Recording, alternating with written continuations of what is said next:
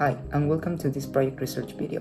My name is Angel Francisco Zuniga from Tecnológico de Monterrey, and this project research is about the evolution of cinematographic music.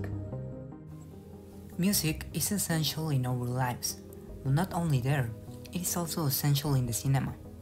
Without a doubt, music makes something have life and color. But how have soundtracks evolved? And what about the association of sounds?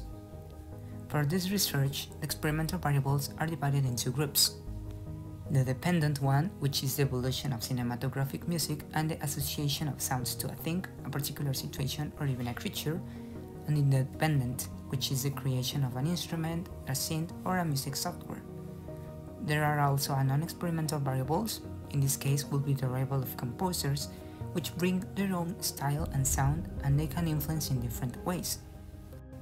And also there is a numeric variable, which is the numbers of years the soundtracks were stuck with the same instruments and melodies, and a categorical one, which is the number of reasons about the way music can influence in the human body and mind.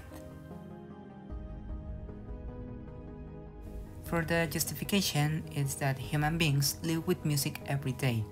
It is part of us, because thanks to it we can better enjoy the moments, helps us when we have problems, makes us share emotions with others, whether in concerts, bands, etc., and it provides us with support and improvement in our life, just as it can also bring us all together. We have a deep relationship with her. And thanks to all this relationship, music does more than enhance our experience when it comes to watching a movie. It can affect us in the way we react and perceive things or situations that happens to us and we give them a meaning. It also helps to give a better atmosphere to the stories and to deepen what is told on screen. The research question is how has film music evolved since the arrival of new technological advances and how has this allowed our brain to associate certain sounds or notes with particular things? The hypothesis in this case is that if there are new technological advances, then music will evolve in the cinema and it will lead to the association of certain notes and sounds to some objects, situations, etc. As for the framework, music is considered to be one of the most pleasant elements in our life. It's able to create stimulus in us just like drugs or food can, and it can affect us in various ways, from changing our mood, getting better from an illness, making us more productive, and it can even change the way we see the world.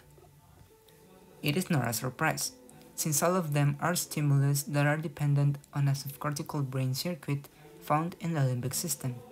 That is, a system that is made of brain structures that manage psychological responses to emotional stimuli, particularly the caudate nucleus and the nucleus accumbens and their connections with the prefrontal area.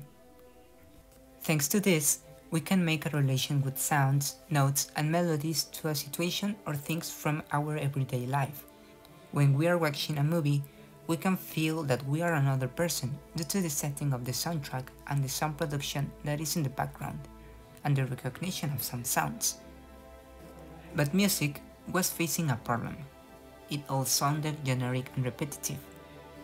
Thanks to composers like Alan Silvestri from Back to the Future, John Williams from Star Wars, James Horner from Titanic, or even Danny Elfman from Nightmare Before Christmas, orchestra scores felt so generic, despite having lovely themes. They all used the same method for orchestration and use ideas that worked well for situations over and over again. The composers had a tendency to recycle their own ideas or to mix others from other composers, making what sounded classic now sound monotonous and repetitive and there will not be an innovation in film music for a long time. But that changed with the arrival of Hans Zimmer, the person and composer who brought the synthesizers to the world of cinema.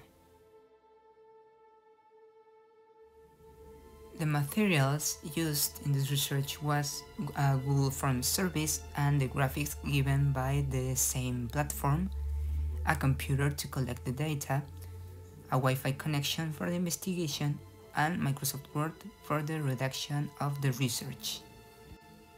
The data collection was done with the Google Forms service, where the population answered it and then the data was gathered.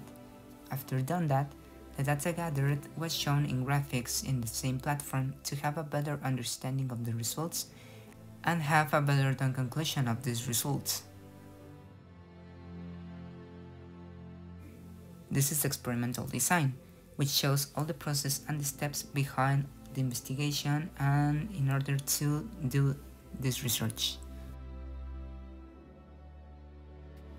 For the data collection, as said before, was collected with Google Forms service and the graphics given there.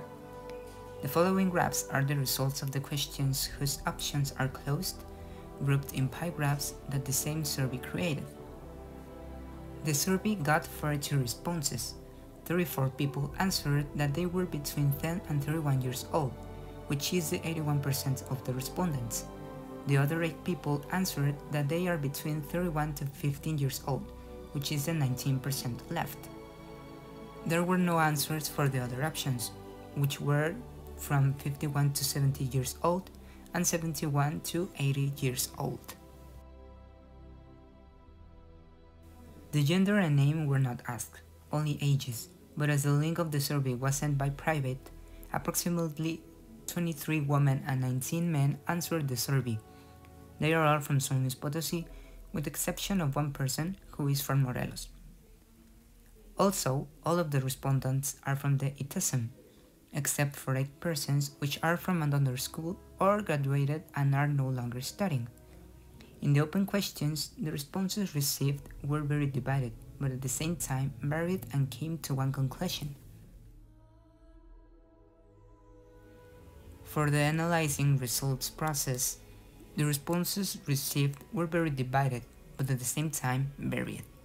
They were asked the person's favorite soundtrack, and the answers were from classics from decades ago, such as Star Wars or Tim Burton's movies, to very recent films, like Soul or Frozen.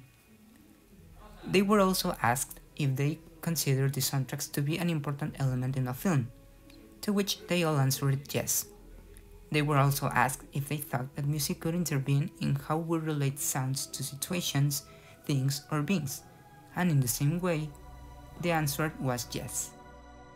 From all the population, 90.5% answered that they can see a difference between old soundtracks and new ones, while the other 9.5% answered that they cannot. But most of them said that the first ones are more classical and traditional also generic, while the new ones are more technological, modern, and varied, and you can distinguish from both of them. And finally, 41 people said that soundtracks have evolved during decades, and only one person said that they have not. The response given by that person is that music depends on the film and the context that it has, so every soundtrack is unique and different and they cannot be compared. In conclusion, the results of the surveys give a lot to talk about and analyze, but they end up testing the hypothesis written. As the decades go by, it is very evident that soundtracks evolve and become more technological and modern, and thanks to that, the association of sounds can be made easier because with these soundtracks, the brain tends to relate that sound with the scene. Thus, that is why when thinking, for example, in space, one does not remember a violin or a trumpet, but a synthesizer or any artificial sound, thanks to the fact that we tend to associate these themes with advanced technology and science.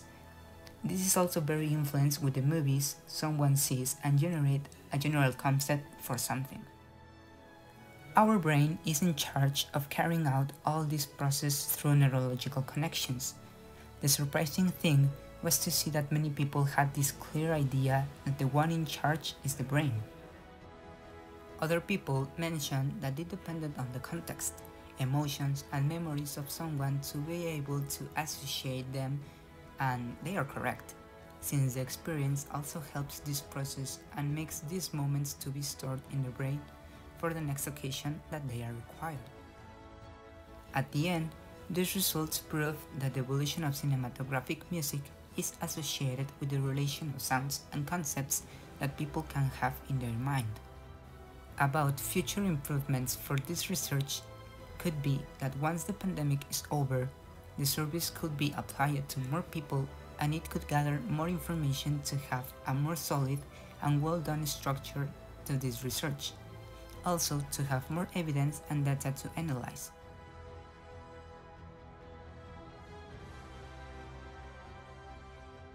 Thanks for watching this video. Again, I'm Ángel Francisco Zúñiga from Tecnológico de Monterrey, and you just have watched a project research video about the evolution of cinematographic music.